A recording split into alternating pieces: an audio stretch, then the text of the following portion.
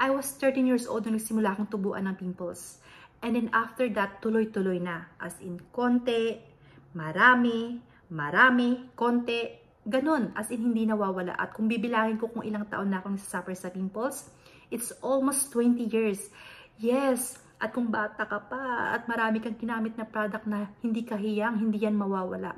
Kaya gusto ko i-share sa inyo yung journey ko kung paano nawala yung pimples ko. At bago pang lahat, na-share ko yung mga gamot na ginagamit ko, mga products na ginagamit ko. Subscribe naman kayo, palambing naman dyan. Palambing naman dyan, uy. So, umpisahan ko na. So, six months ago, nagpa set ako ng appointment sa dermatologist ko. Kilalang dermatologist, kilalang hospital ito sa US. Narinig nyo na ba yung John Hopkins uh, Hospital? Yes. Sikat yan na hospital dito sa US at um, talagang lumipat ako ng hospital noon sa lumipat ako sa John Hopkins kasi talagang maganda yung service nila at talagang pulido. At um, yung nakita nyo sa video dyan, hindi lang yan yung worst na pimple na naranasan ko sa pimple na nagkaroon ako. As in, no space, pimple giving birth to pimple. Naranasan ko as in worst talaga noon. Kaso that time, hindi pa uso ang video vlogging, hindi pa uso ang YouTube, hindi pa uso ang product review, mga ganito, nagkatulad ng ginagawa ko. So this time, as in record ko talaga, as in gusto ko i-share sa inyo kasi alam nyo noon nanonood din ako ng mga video paano mawala yung pimple pero hindi talaga ako yung sa product nila. And disclaimer lang, gusto ko rin i-share kasi na minsan pinap ano, parang ina-advertise ng isang YouTuber yung product na ganito gamitin mo, pero paano pag hindi hiyang? So, I would say, disclaimer, it doesn't mean na hiyang ako, hiyang ka. Um, gusto ko na i-share dito is yung experience ko na somehow may matutunan ka na as, uh, it's either pwede mong gamitin or it's either pwede hin, it's either na hindi mo gamitin. Okay? So, gusto ko lang i-share yung ganong thoughts na may idea ka na baka hiyang ka or hindi ka magiging hiyang. Kasi in my case, pwede rin katulad ko na almost 20 years imagine. So, I will start now and I will put all the name of the medicine sa comment section down below. Pasensya na kayo sa accent ko. Ilunggo, Bisaya ko bala guys. Yan, hirap man guys mag Tagalog, Ilonggo, English. Hirap na talaga ako guys na dito sa US. so, okay, I will start. Six months ago, nag-set ako ng ano, appointment sa dermatologist ko guys na magkaroon ng ano ng health kay, ask kay Dr. Doc. Nagkaroon na ako pala ng nag, nag-meet na bala ako sa ano sa dermatologist. Street pangatlo ka na doc. Hindi bala nag-work sa akin ang light therapy. So what I will do doc? Okay ang first medicine na binigay sa akin ni doc is spironolactone I started from 50 mg yung pinakamataas. So far I think 100 so sa 50 mg may tumutubo pa rin. Tumutubo. So meet ko nagpalo up check up doc. May tumutubo. Okay sige. Eh ano natin itaasan natin yung doses mo. Naging 100 mg. Okay, to taasan. Ay, nawala yung medicine, nawala yung pimples ko guys. Wala. Wala siya guys. And then, ang side effects na nito na gusto ko i-share sa inyo. Pag babae ka guys, as in more than one month, meron kang period. Sabi ko, agoy, ano ba to? Tiis ganda, one, one month yung period. Ano ba to? Lagi na lang may tapik ang panty. Tapos sabi ng asawa ko, ano ba yan? Itigil mo yan. Walang pahinga. So, as in talaga guys, sabi ko, sabi ng asawa ko, ano yan, tigil na yan, wala lang pahinga. Uy, na-miss na siguro ako ng asawa ko. Ang pahinga, totoo talaga yan guys. Tapos, may, may headache ka, pero may remedy naman ang headache guys, at remedy na yung headache mo. Kasi, sabi ko, Dok, ano ba to? May headache ako palagi. Sabi niya, best time to take that medicine is in the morning and take a lot, drink a lot of fluid. Kasi ang purpose ng medicine na to guys is ilabas niya yung dumi dyan sa katawan mo, yung mga toxic dyan sa katawan mo, sa kidney mo, ilabas niya yan dyan guys. So yan yung advice sa akin ng doktor. So okay, tiis ganda, tiniis ko talaga guys. Eh, kahit ngayon guys, ay akala ko nga kanina meron naman ako. Kasi parang nasanay na ako guys na every two weeks, meron na naman ako. One, one week lang yung pahinga guys. So, okay. So, ano, one month after na meet na naman kami ni Doc, ano, sabi niya, parang okay-okay naman. Pero binigyan niya ako ng another medicine which is yung doxycycline. Nag-start ako ng 100 mg, uh, 100 mg, pero I need to take it twice a day. So, it's 200 mg. So, ang meron itong side effects na grabe yung pamamalat ng mukha. Hindi ako pwede ma-expose sa sa light, sa cellphone. Pero wala akong magawa guys. Kasi minsan cellphone na ako pag. Mahilig ako manood ng mga funny videos sa gabi guys.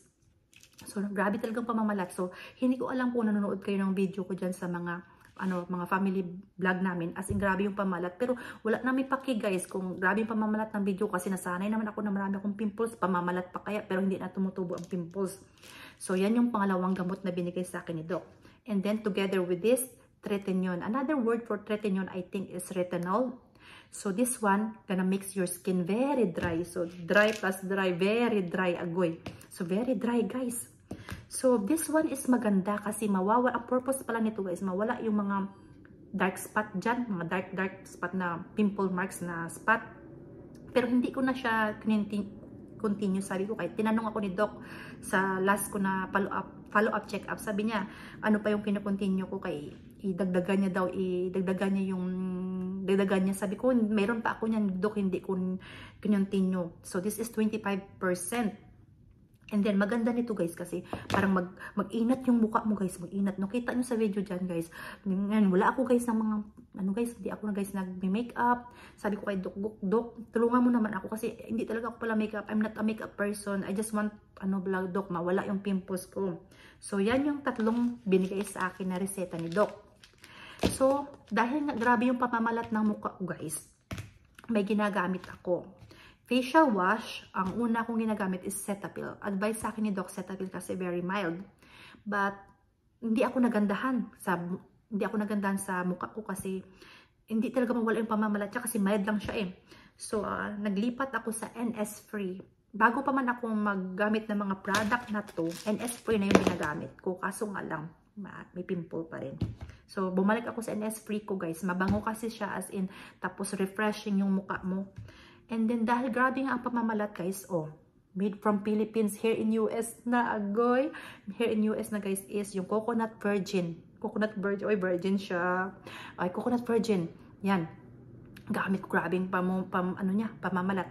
Ay, mawala yung pamamalat niya, guys. Effective. Tapos, maganda pa siya sa lips at sa kilay. Yung kilay ta, guys, wala buhin-buhin, guys. Kaya ayaw ni asawa. Pero, okay lang sa akin na walang buhin ang kilay. So, ito yung ginagamit ko, guys. Virgin coconut oil. Di ba nakita nyo to sa video ko, guys? Ginamit ko sa ulo ko, guys. Kasi napapanot na ako, guys. Dahil, syempre, breastfeeding, papanot. Yan yung mga, mga ginagamit ko. After, beside that, wala na. Wala, may, wala, wala hindi ako nag, ano guys, hindi ako nag ano guys, nag I mean nag nag diet or something, may avoid na mga food. Wala guys. Na, ang nakatulong talaga sa akin guys, alam niyo kung ano, which is yung antibiotic na nireseta ni doc, which is yung spironolactone and then doxycycline. So depende, nag-start ako again, recap, uh, 50 mg hindi kinaya, may tumutubo pa rin, tinaasan sa 100. So, kung lalaki ka guys, hindi ko alam anong side effects kasi ako babae talaga, dinudugo talaga ako palagi. Pag lalaki, hindi ko alam. Nag-share ako, sabi ko, isip ko, mag-share ako nito. Ala, lagi ako dinudugo. Paano kaya pag lalaki? So, hindi ko alam guys. Pag may lalaki, mag-comment down below kayo dyan. Anong, kung ano ang, ano sa inyo guys. Ano ang, tawag ito, side effect ko may dugo ba guys? Baka puti. so, yan lang yung guys yung mga ginagamit ko kung may water therapy, water therapy, hindi man ako, ganun pa rin yung dosage ng a dosage. I mean, quantity ng tubig na iniinom ko. May, mahilig kasi sa, ako sa tubig. Pero mahilig din ako sa coffee. No diet guys, just this one only and uh, coconut virgin oil. So regarding coconut virgin oil, sabi ko, Doc, gumagamit ako coconut virgin oil. Pero sabi ni Doc, baka masama kasi ano daw, cooking base. Cooking base, tama ba yun? Cooking base. Sabi ko, Doc, hiyang man ako. One, one month na ako nagamit. Sabi niya, oh sige, kung hiyang ka, okay lang yan. Kasi nga, pag cooking base, ah, guys, again, again, um, sorry, again, again. Sabi ni Doc, guys, pag hindi kahiyang nito, yung mga oil, oil na mga ginagamit, mga cooking oil, olive oil, hindi yan maganda, guys, sa muka. Kasi mag, mag, ano, titrigger yung, ano, yung pimples kasi yung mga buhok-buhok ba dyan? Buhok-buhok. Yung mga hole-hole ba dyan, guys? So, yan ang i-share ko. I hope nakatulong sa inyo yung aking sharing na about my journey paano nawala yung aking pimples. Again, palambing naman, guys. Ano naman? Nang subscribe naman kayo. So, thank you so much.